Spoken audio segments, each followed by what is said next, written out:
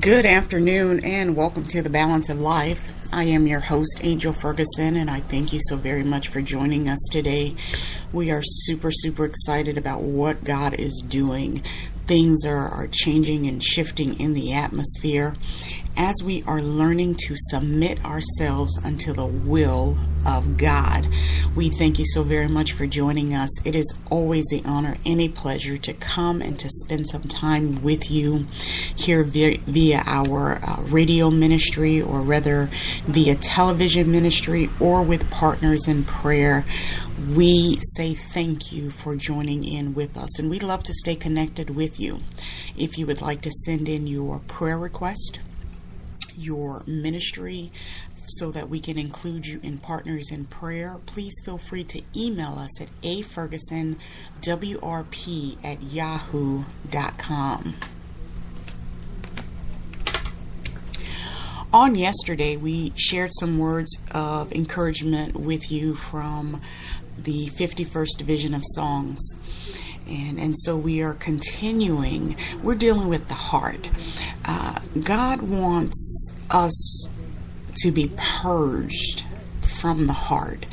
And, and it's the, the hidden things within our hearts that will keep us out of the kingdom of heaven. And so we, we feel it pressed upon us. We feel the, the sounding of the alarm that we bring to you from the scriptures what God is saying unto the body of Christ.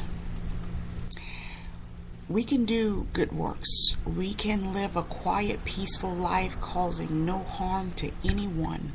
But if our heart is not right, we will not be able to enter into the kingdom of heaven. We, we will not be able to fully do what God called us to do. We must do it with a pure heart. And so when we return, we are going to go over into Romans, the fourth chapter. And we're going to talk about uh, circumcision of the heart. Now, on yesterday, and, and previous to this, we, we've talked about purging and purging of the heart. And right now we're going to go over into the New Testament and, and, and, just take a look at what Paul has to say about circumcision, circumcision of the heart, not of the flesh. I need those things removed from my spirit, my God, so that I may be pleasing unto Him, so that I am uh, able to do what He calls me to do, so that He can use me, because I am a willing sacrifice, holy and acceptable unto him. That's my reasonable service for all that he has done. We'll be back in just a moment.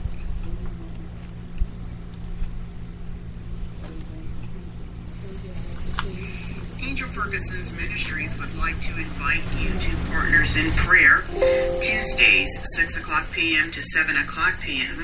The call in number is 515 604 9825. The access code is 132317. Once again, that's Partners in Prayer, Tuesdays, 6 o'clock p.m. to 7 o'clock p.m. Eastern Standard Time. Call in number is 515 604 9825. The access code is 132317 as we do according to James, the fifth chapter and the 16th verse. Pray ye one for another that ye may be healed.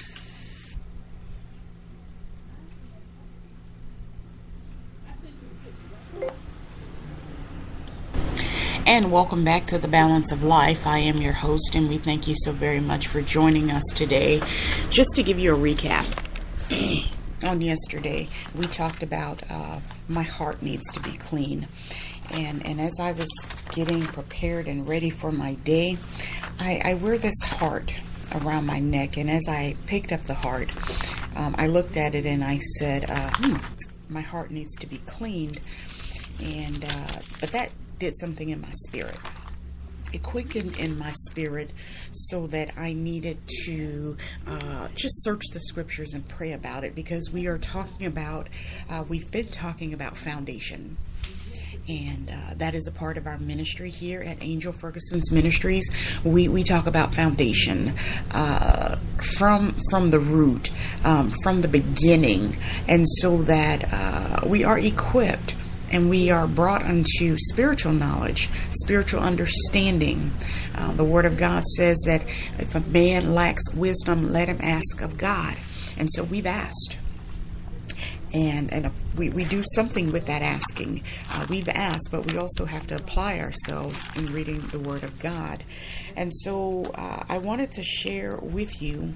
Um, we've been talking about it quite a bit here uh, over uh, in the, and, and we're still in the book of Psalms. Praise God.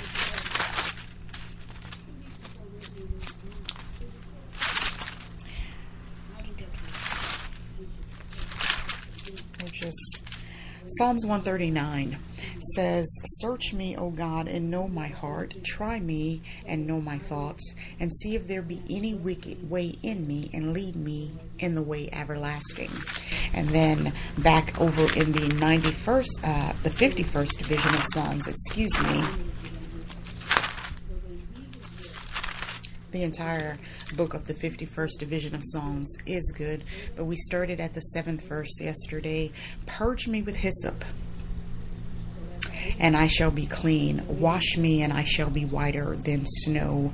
Make me to hear joy and gladness.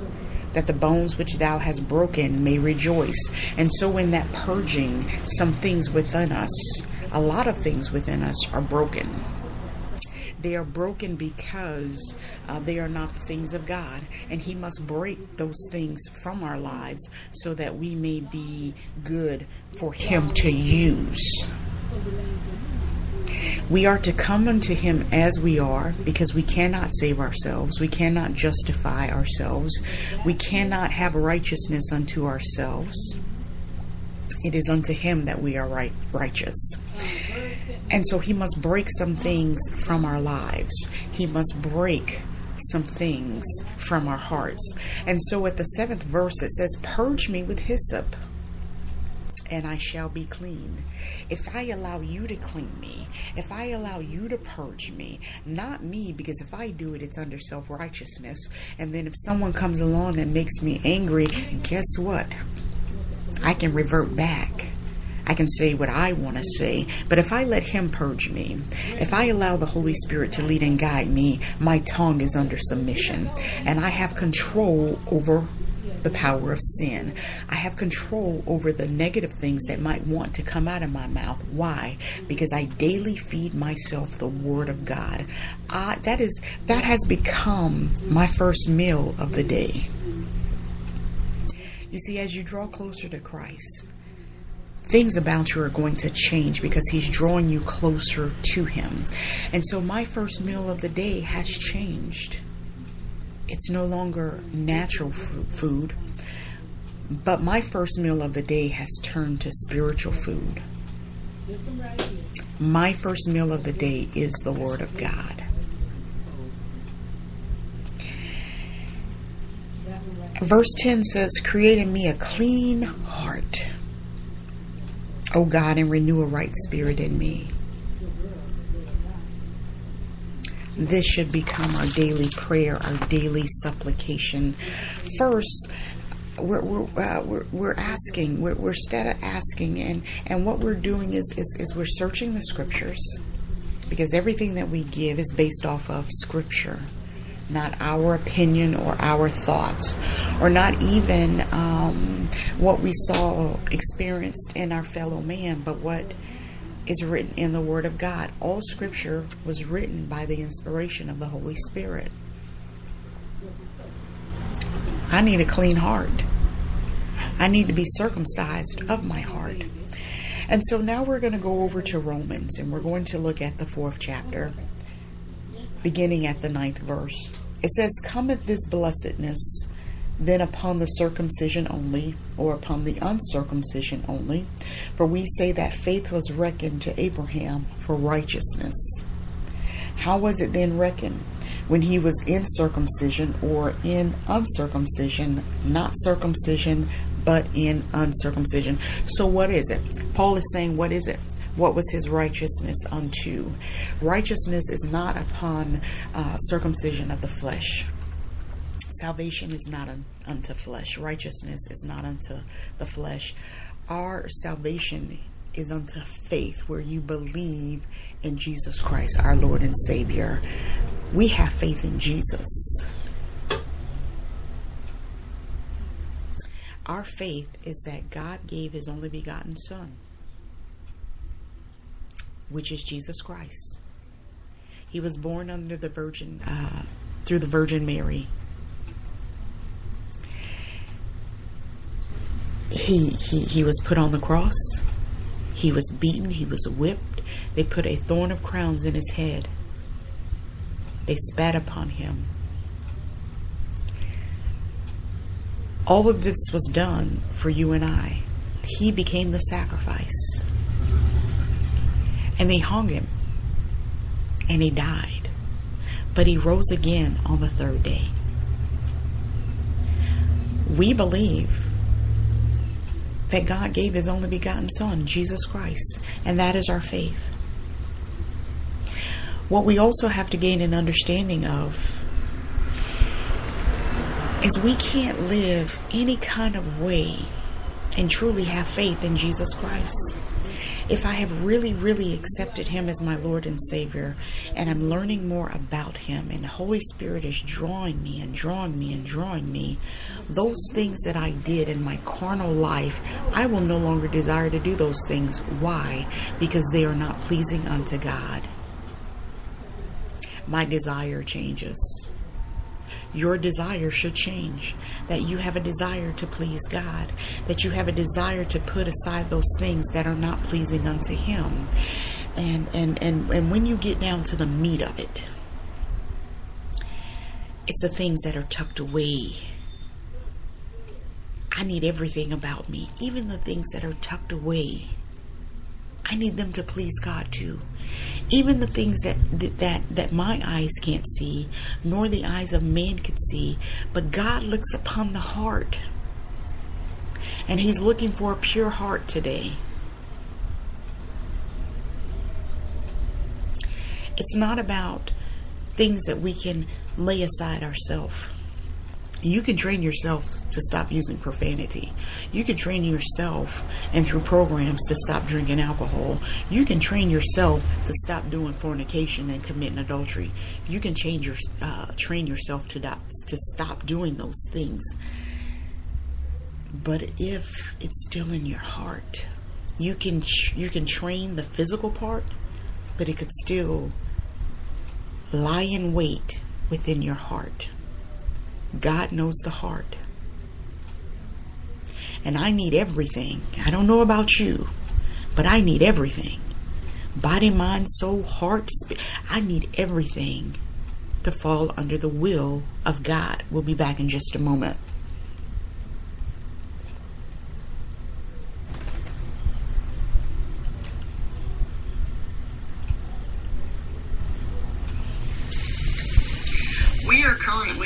Accepting applications here in Angel Ferguson's Ministries, School of Ministry and Mentoring. Please visit us via the website at www.afergusonswrp.simplesite.com. Via the website, you can check out the courses that we offer, the enrollment process, along with the cost and because we have been accepted and recognized by the state of Florida as a religious institution, upon completion of your course, we can provide you with certification uh, with our seal that will be recognized by the state. Once again, that is www.afergusonswrp.simplesite.com or feel free to give us a call Monday through Friday, 9 a.m. to 5 o'clock p.m. at 813-336-2181. And welcome back to the Balance of Life. I thank you so very much for joining us today because truly uh, we are excited about what God is doing. Uh, we give Him thanks, honor, and praise for allowing us to be in this day. Uh, just just an awesome, awesome word of God, and we we've been dealing with uh, the circumcision of the heart, being purged of the heart. Exactly what does that mean? And so we've gone over a little further, uh, just to uh, the circumcision of the heart. It is not something that is done in the natural. This is not a natural act. You can train yourself not to do certain things, but it could yet remain in your heart. And those things that are not of Christ, it could be malice, jealousy, uh, gossip, uh, covetousness, wickedness, anything of a, of a evil nature, the works of the flesh. Those things could still manifest in your heart you might not do them physically in the natural, but they can yet remain in your heart. A evil thought towards someone, past hurts, disappointments, uh, you know, just all manner of things that are not pleasing unto God. And remember, God sees the heart of man.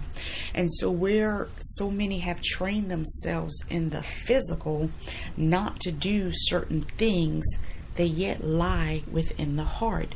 And so those things need to be removed. And that's why circumcision of the heart is not, um, it's not of the flesh. This isn't something that, that you can lay aside. It is what God does in the heart. But you must seek this. You must ask for this. And so there are scriptures that lead you to this that will teach you what that means. And and we looked at two scriptures over in uh, the 51st division of psalms and then we went over to the 109th division the 139th division of psalms and now we're looking over in romans. And paul is teaching paul is really really teaching um, in his writings in his epistles. He's teaching that um, it's not something that can happen in the natural. God isn't looking at the natural. Now, here's what happens as you draw closer to God and, and you desire that pure heart.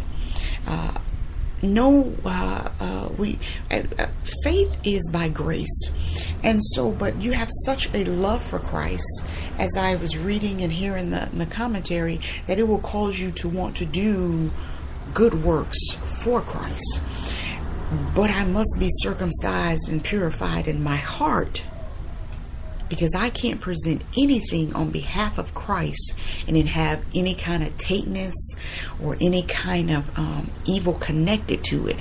And so, yes, I want to be purged from my heart because everything that I do, I want it to represent Christ. And I don't want to have a hidden agenda. I don't want to have a, a personal vendetta. I don't want eyes on me. I need you to see the Christ in me. So that when I go to Him in prayer, my heart is clean. My motive is pure. I have no hidden agenda. I'm going in with a pure heart. I'm, I'm asking daily God, if I looked at someone the wrong way, if I felt that they looked at me the wrong way, anything that the enemy tries to bring to me that does not line up with the word of God, that is not pleasing to Him, I don't want those things to manifest in my heart. I don't want those things to attach themselves to me.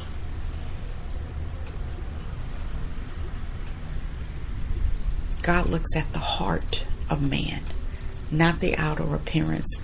We we look at the outer appearance. We can look at someone and we can assume because they are dressed so finely and properly, um, because they're doing all of the right things.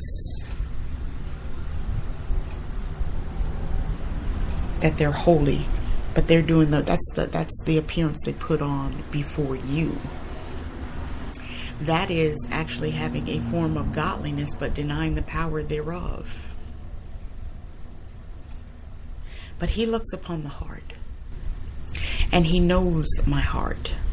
And he knows that when you persevere to do what is right and pleasing unto him, not pleasing unto man, but unto him, That is my ultimate goal to please Him. Am I pleasing Him? And as I continue to, to submit myself under the will of the Father, allowing the Holy Spirit to lead and guide me into all truth, my desire yet grows stronger and stronger. Remove those things from my heart because I don't want to bring any disrespect unto the anointing of God. I, I, I found that um, I have this this new intense fear that I don't want to displease God. I don't want to do anything that that disrespects Him, and that's uh, whether I'm in the presence of anybody or alone by myself. I don't want to disrespect God in any kind of way. I want to remain humble so that He may dwell in me. I don't want to be cast aside. I don't want him to close up his ears that he doesn't hear my prayers. I don't want him to close his eyes from me that he does not see me. I and and because he's looking at my heart and it must be pure. He's not looking at my actions. He's looking at the intent behind my actions. We'll be back in just a moment. There is more to offer here at Angel Ferguson's Ministries. Our television ministry airs every Monday and Friday, 11:30 a.m. to 12 o'clock p.m. Eastern Standard Time. Tune in to our YouTube channel, The Balance of Life with Angel Ferguson, as well as via ViLoud.com. Just search for The Balance of Life and tune in every Monday and Friday, 11:30 a.m. to 12 o'clock p.m. For more details, please email us at afergusonwrp at yahoo.com. And welcome back to the Balance of Life. We certainly thank you for spending the afternoon with us here in Tampa. It is actually raining. Uh, and I shouldn't say that with surprise because uh, clearly on the other side of town or even maybe across the street, it could be dry. But uh, from where we are uh, here uh, at our studio location, it is raining. But we thank God for the rain. The rain replenishes. The rain uh, washes the way. The rain uh, uproots. Uh, the rain restores. And, and so we thank God for the rain. It is by His divine appointment when He says, let the showers fall. It is because He says so. We'll be back in just a moment. Angel Ferguson's Ministries would like to invite you to Partners in Prayer Tuesdays, 6 o'clock p.m. to 7 o'clock p.m. The call in number is 515 604 9825. The access code is 132317. Once again, that's Partners in Prayer Tuesdays, 6 o'clock p.m. to 7 o'clock p.m. Eastern Standard Time. Call in number is 515-604-9825. The access code is 132317. As we do according to James, the fifth chapter and the 16th verse, pray ye one for another that ye may be healed. And welcome back. God is doing some awesome and amazing things. I encourage you to get into a place of prayer, uh, get into your Word of God, and, and just uh, stay there and and and and and and and read and meditate, and allow the Holy Spirit to reveal unto you uh, the mysteries of the word allow the holy spirit to to speak to you the things that god would have to say unto you uh, he's going to reveal some things to you connected to uh, the ministry that you are with, the ministry that He has within you, within your bowels. Uh, just allow God to do what He's going to do in your life. We thank Him for, for just being God alone. As I stated, I uh, we're definitely uh, welcoming uh, rain. It is awesome, awesome, awesome. I'd like to send out a special invitation uh, every Monday uh, for Charity Lighthouse of Faith, located in Vineland, New Jersey, under the uh, teaching of Apostle Naaman Wilson Jr. Uh, from 7 o'clock to 8 o'clock p.m. Bible study. The current study is the fivefold ministry. And you can listen from the comfort of your home. How about that? That is a call in number. So the location does not matter. There is a call in number 563 999 1421. The access code is 7554 551 and there is a callback number 515-604-9881 and so we invite you every monday 6 o'clock to 7, uh, 7 o'clock uh, that's my uh, conference night uh, 7 o'clock to 8 o'clock p.m. Current study is the fivefold ministry. Uh, just going to the foundation, going over the ministry gifts that are given by God. And right now, on this past Monday, uh, we were finishing up and we're still in the office of apostle. And so, uh, great, great teaching. We definitely we invite you to to join us. Call in once again 563-999-1421 every Monday night, 7 to 8 o'clock p.m. And if you miss uh, one of the teachings, there is a chance that you can tune in. Uh, the callback number is 515 604 9881.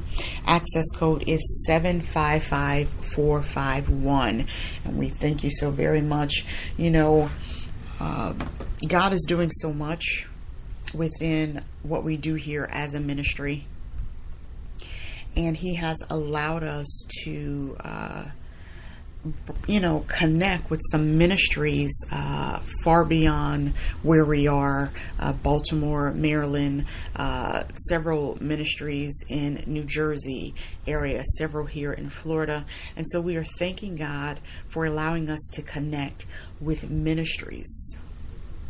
And if you would like to be connected with us, uh, we definitely will keep you in our prayers and uh, just support one another. The main thing we can do support each other in prayer is uh, send us over a email a ferguson wrp at yahoo.com and uh, we look forward to connecting with ministries across this world, uh, we are called uh, to pray ye one for another, and and and and that that ties in with. Uh, uh, what's going on with the heart of God's people?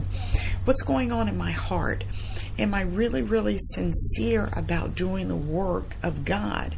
And until you are purged in your heart, that sincerity is really not there. And then you, you and, and I have to say this because I feel that the Holy Spirit is allowing me to say it. A lot of times when you see jealousies, amongst ministries and individuals, it's because the intent of the heart is not pure. Uh, what I do and what you do, I certainly applaud you because that is the gifting God gave you. And He gave you a particular audience, and He gave me a particular audience. But because the intent of the heart is not pure, you find individuals fighting over the same audience. And God would not have it so. He has, uh, before uh, you were born, before you and I were born, uh, he knew you. He knew who he wanted to speak to. Uh, he knew who he wanted you to minister unto. He knew where he wanted to send you. He knew exactly what word he was going to put in you to deliver. Same goes for the ministry gifts that he has placed within you. And so two can actually walk together with the same gifting, but they have a different audience. They have a different method of delivering that message. We have to be purified and cleansed, purged from the heart, circumcised from the heart, so that the will of God is done. That is the ultimate goal. Thy will be done on earth as it is in heaven. Give us this day our daily bread, and forgive us our Forgive us not our debts as we forgive our debtors. Lead us not into temptation, but deliver us from all evil. For thine is the kingdom, the power, and the glory forever. Amen. We thank you. We will return on Saturday.